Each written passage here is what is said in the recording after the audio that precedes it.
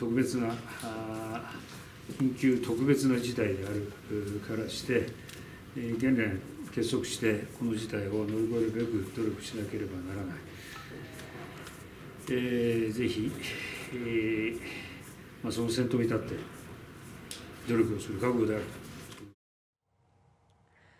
自民党の岸田文雄前政調会長は今日広島県連の常任顧問会議で推薦されたことから広島県連会長のポストを引き受ける考えを示しました。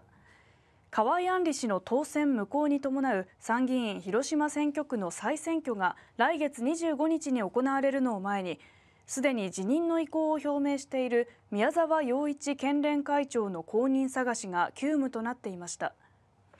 岸田氏は県連会長になるのであればより大きな責任となる。しっかりと汗をかく覚悟で努力していきたいとしていて